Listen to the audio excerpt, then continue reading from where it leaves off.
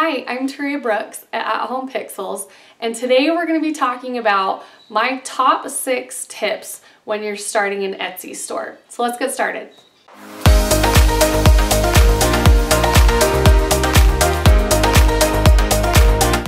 Okay, so you want to start an Etsy store. It's super exciting, or maybe you already have one and sales are kind of eh.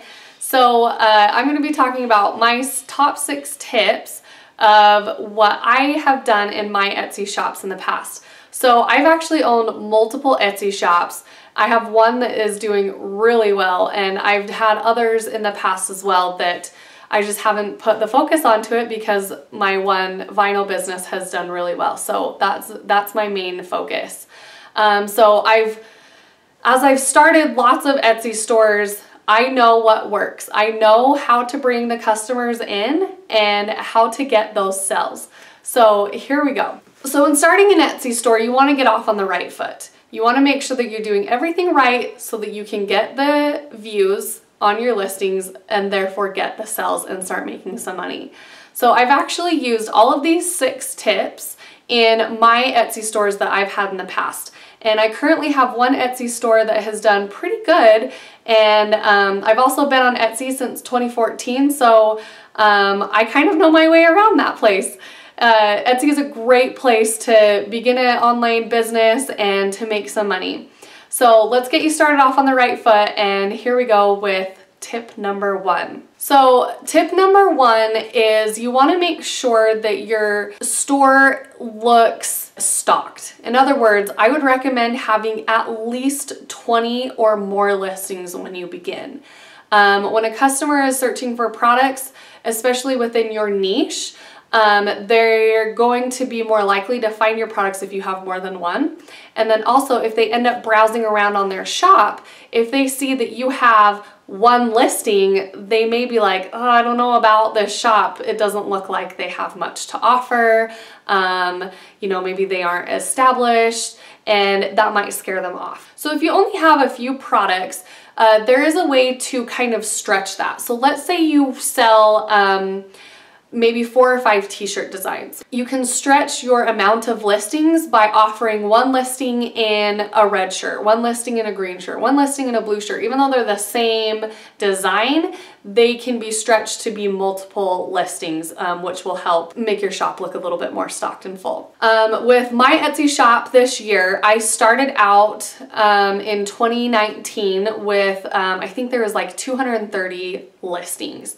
Um, and I was still doing pretty decent, but I had a goal that I wanted to get a lot higher than that. And so um, this year I've actually been able to grow just by increasing my listings from 230 to over 600 and that has been amazing and has really really really helped my shop because uh, people are list looking for specific items and if I have that specific item then I'm more likely to make that sell. So um, definitely want to get as many listings as you possibly can on your shop and to stock that and make that look good. Okay, so my second tip on Etsy is to make your listings look pretty. Um, this is probably one of the most important tips that I can give you is that you want to make it look legit and uh, very good quality so that you can ensure that trust in that customer that you're offering a quality product. You want to make sure that the product, uh, if it's an actual physical product, that it's really well lit um, that you have multiple angles, show how it's being used, show it styled, show it by itself, show close-ups.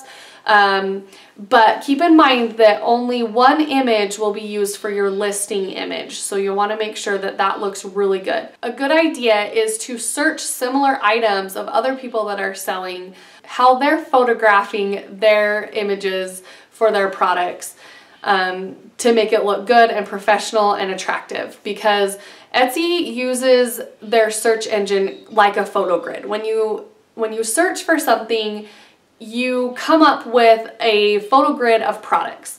And so obviously you're gonna want your photo to look real good that can encourage those clicks and bring the sales. Okay, tip number three I have is competitive pricing. Um, and this is where it gets kind of a little bit tricky, but you'll want to make sure that you're obviously making a profit. Keep in mind how much your costs are for your product, um, the time it takes for you to create that product, any other costs that you may foresee. You'll want to make sure that your pricing is competitive to other sellers. So you don't want to completely lowball the market and your product is the cheapest one out there. And this is the reason why, is because someone's gonna see, um, let's say it's a wedding invitation printable. So let's say uh, this person is selling it for $7 and you're thinking, well, I can do that and I'll sell it for $2. The person that's selling it for $7 will probably be more likely to get the sale. And the reason why is because the customer is going to have trust in that $7 product and know that it's going to be a good product and a nice one and good quality over the $2 product. Even though you may have better or the same quality as the $7 product uh, shop, they're gonna want something that they can trust. Uh, quite a few years ago, I started a custom invitation Etsy shop and I sold birthday invitations and, and things like that. And I started my prices really low and I, I didn't really get a lot of sales. And um, so I wanted to do a little experiment. And so I actually increased my prices quite a bit, almost double actually. And I started getting a lot more sales once I increased the prices. So look around on Etsy, look at other Etsy shops, see what other people that are selling similar items are selling their stuff for, and find your happy middle. Something that is gonna make you profit, um, but also be competitive and not too low or not too high. Um, and then when you get to the point where you're selling a lot of that product, yeah, raise that price. People are buying those. You need to raise those prices so that um, you're being compensated for your popular product. Okay, so my next tip, tip number four, is to have five-star feedback. Um, this is super crucial when you are starting because when people are doing an Etsy search, what they see in those search results is they're going to see their listing photo, which we've already talked about. They're going to see the name of the product, and then they're going to see the, the average feedback star with how many they've received. So in other words, they're going to see um, that I have a five-star feedback and 3,000 reviews, or whatever it is. In the beginning, this is really important to get five-star feedback. So you'll want to make sure that you're doing everything that you can to provide a quality product.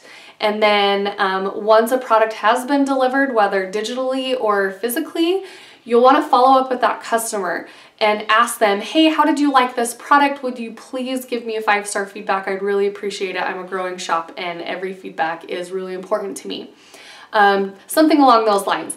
Also, uh, I always put in every single one of my instruction sheets on my vinyl decal business um, in the shipping box to, I encourage them to leave five-star feedback. I say on my instruction sheet towards the bottom, I say, hey, um, I'd really appreciate a five-star review. If there's anything that has happened with this uh, transaction that is not up to your expectations, please let me know so that I can get it fixed. Um, please leave a five-star review. Something along those lines.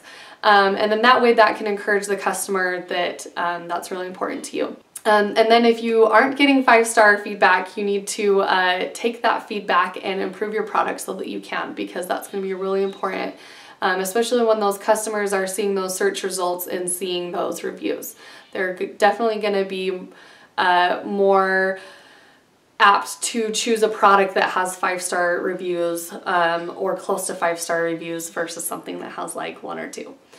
Okay, so tip number five kind of goes along with tip number four, and that is to be number one in customer service. You are a business. You are serving your customers, and those customers are paying you their money for your product, which is pretty cool. But you'll want to make sure that you're not only delivering a really good product, but you're also delivering really good customer service. Be grateful for every single product that you sell. Send a thank you note. Tell them how much you appreciate that sell. Um, and then if you get any messages be super courteous, be very professional. Use what you learned in high school or college about writing techniques. You want to sound professional, you want to sound uh, legit. And this helps ensure customer trust so that you can, uh, again, get more sales. Because if customers trust you, they understand that you're a real nice person that cares about them, they'll be more likely to buy from you. So be number one in customer service. And sometimes it can be hard. Sometimes that you'll get those customers that really push your buttons or they're just straight up rude. Uh, in circumstances like that, it's you just gotta take a deep breath and reply the kindest, most nicest way that you can ever be. Uh, whenever I've done this, I've never had problems. I've always had customers that usually calm down and fizzle down and uh, everything goes smoothly. So just make sure you're taking care of your customer, even if you need to take a little bit of a hit and refund their item. Um, it's worth it to get that, get the five-star review and to establish trust in them. So Okay, so tip number six is a little bit interesting, um, and that is to be super clear on your shop's policies. So I've had to learn a little bit of the hard way because I didn't have my shop policies set up super clear. Um, so for example, I would sell, and I do, I still sell to um, other nations. I sell internationally. I've had people take advantage because I didn't spell out clearly that I am not responsible for the income taxes, the duty taxes, um, all those type of taxes that these other countries deal with. Um, and so I've had some negative experiences and negative customers because they weren't anticipating to pay those. Um, it's kind of silly, but that's just kind of one little example of what you need to protect yourself because you don't want to be taken advantage of. And I think in most cases people are pretty nice, but there are some that that will try and, and kind of cheat the system a little bit. So just make sure you protect yourself and set up clear shipping policies, exchange policies, and international policies, anything like that that you're going to deal with. And then kind of to go along with your policies is when you set up your listing, you're gonna set up when the customer will receive this item. If it's a digital download, you can just skip over this part.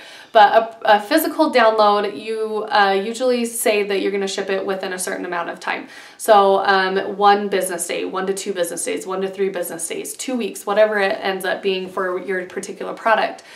Um, you'll wanna make sure that you definitely ship by what you say that you will. Um, and if anything, ship maybe a day or two early if you can swing it because that will uh, show the customer that you're willing to over deliver for them, um, which again will ensure trust so that you can get more sales and repeat customers. Okay, so in recap, number one is to have 20 or more listings. Number two is to make your shop look pretty, have really good listing photos. Number three, have competitive pricing. Price something similar to what other sellers are doing. Make sure you're not too low or too high. Number four is to have five-star feedback. That's really crucial. You want to establish trust in your shop. Number five is to be number one in customer service. Take care of your customers. Make them happy, they'll be happy, and then they will return. And number six is to be really clear on your shop policies. This is to protect you.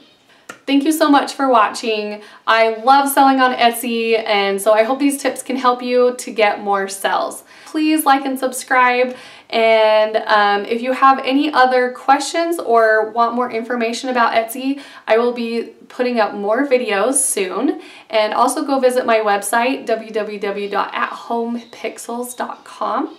I have quite a few Etsy posts on there that can help you succeed on Etsy. Thanks again for watching. We'll see you next time. Bye.